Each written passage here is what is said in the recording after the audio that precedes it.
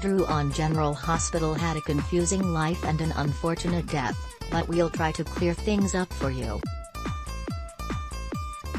The character technically first appeared back in October of 2014, played by actor Billy Miller, although for the first three years Drew thought he was actually Jason Morgan.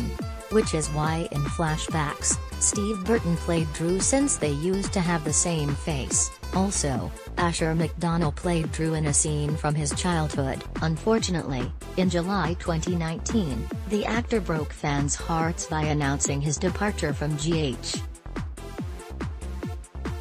But this wasn't the end of his story because in August 2021, Cameron Mathison revealed that his mysterious new role on the soap was actually going to be Drew. Who are Drew's parents?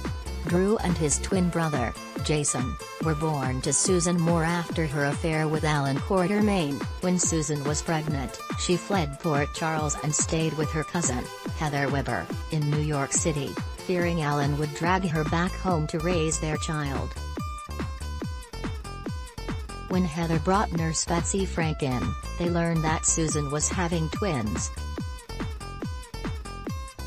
Heather suggested that since Alan didn't know they were having twins, Susan could return to Port Charles with Jason and leave Drew with Betsy. Then, after Alan took custody of one child, Susan could return to the other. Franco thought he and Jason were brothers until he found out he was just raised with Drew.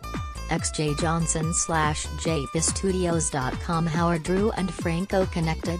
Susan died tragically, and Heather never returned, so Betsy raised Drew alongside Heather's son, Bobby, who later became known as Franco Baldwin. She claimed the two were as close as brothers could be until Drew died of a heart defect.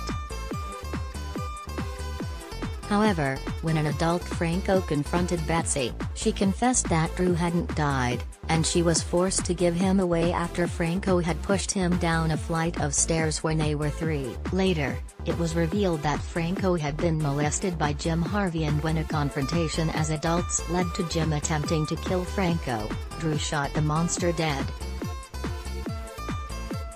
Later, the two men became even closer when Franco was temporarily implanted with Drew's stolen memories. Why is Drew's last name Cain? Drew grew up in an orphanage, and later became a Navy SEAL who was stationed in San Diego, California. But while his name was Andrew Cain, it was never revealed who his adopted parents were who gave him that name, if, in fact, that's where he got the last name of Cain in the first place. That's one mystery that was never solved. Drew was surprised to learn he has a teenage son. Chris slash JPStudios.com Who are Drew's children? While he was a Navy SEAL, Drew had a fling with Drive. Kim Nero, and while brief, it was passionate enough that she gave birth to his son, Oscar Nero. He also has a daughter, Scout, with Sam McCall, from the time they were married and everyone believed him to be Jason. Why didn't Drew want his memories back?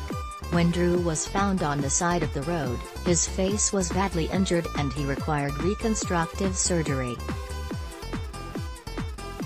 While he initially suffered from amnesia, he soon began to recall memories of being Jason Morgan and living in Port Charles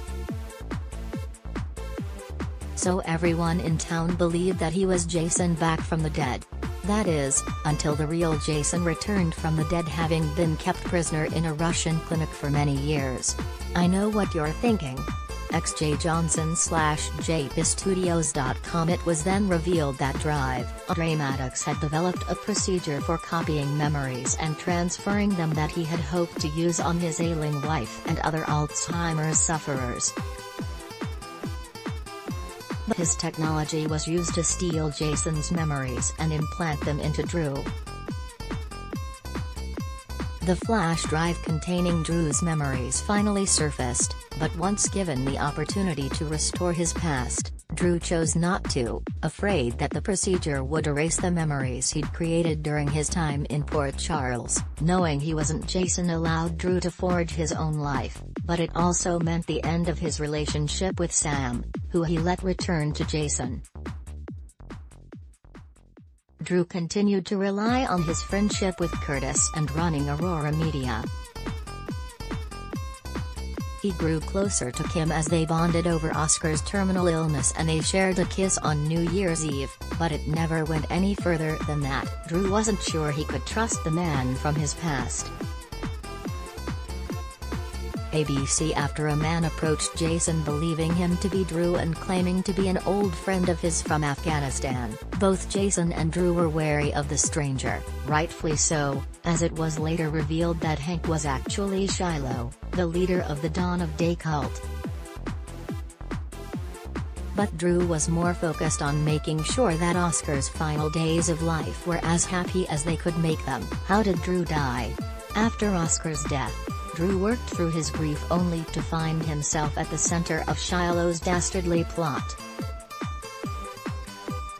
The cult leader was desperate to know what happened to the stolen money from their time in Afghanistan and since Drew didn't remember anything about it, Shiloh swiped the flash drive with his memories and implanted them into Franco. This meant that Drew could figure out where the money was that Shiloh was after and found it in the car Oscar had left Cameron. Franco, as Drew, suggested the cash be returned, so Drew flew off to Afghanistan, but then went to track down Andre and get him to come back to Port Charles in the hopes of restoring Franco to his previous self. Unfortunately, while Andre made it back, Drew's plane was reported lost, as though it had simply vanished, thanks to arrangements made by Peter August, trying to cover his involvement in the memory swapping scheme. Will Drew return to GH? Drew may have been legally declared dead, but you know what they say, if there's no body, they're probably not really dead, heck, even when there is a body, sometimes they can still come back and it looks as though the guy is on his way back to Port Charles, so stay tuned to see how his story continues. Love GH? Be sure to join our We Love General Hospital Facebook group to chat about all the latest storylines and juicy gossip. Ad block test, why?